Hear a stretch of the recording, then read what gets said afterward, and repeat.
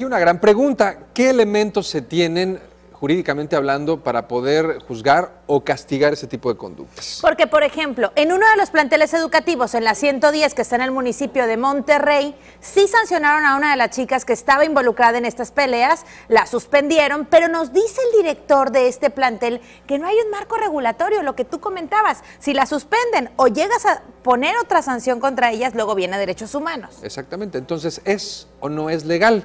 He ahí el dilema, mire después de que se dieran a conocer videos de las riñas entre menores de diferentes planteles que exhiben los alumnos en redes sociales. Rogelio Castillo, director de la secundaria 110, dijo que se sienten desarmados para erradicar esta problemática.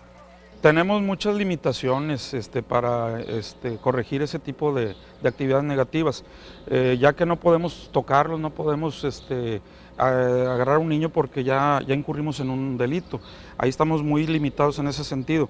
Y pues eh, por ahí traen videos, traen cámaras, traen iPhone, eh, traen iPad, eh, ¿De dónde viene eso? Pues viene de los padres.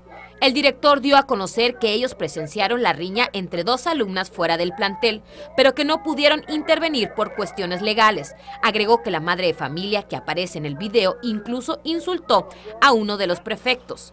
Aseguró que los padres son los únicos responsables de las actitudes violentas en los menores porque las imitan de lo que ven en casa.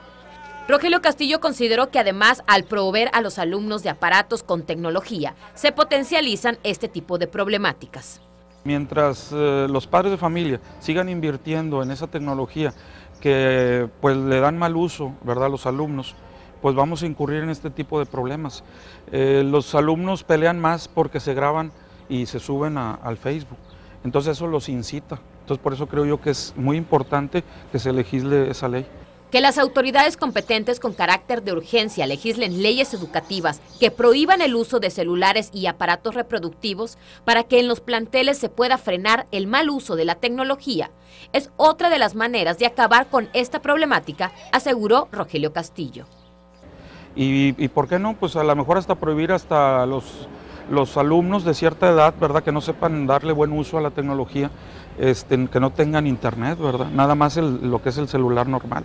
Pero indudablemente, según el director, con más de 20 años de experiencia en la docencia, la tarea más grande la tienen los padres en casa. Con imágenes de Homero García, Rox García, Noticieros Televisa.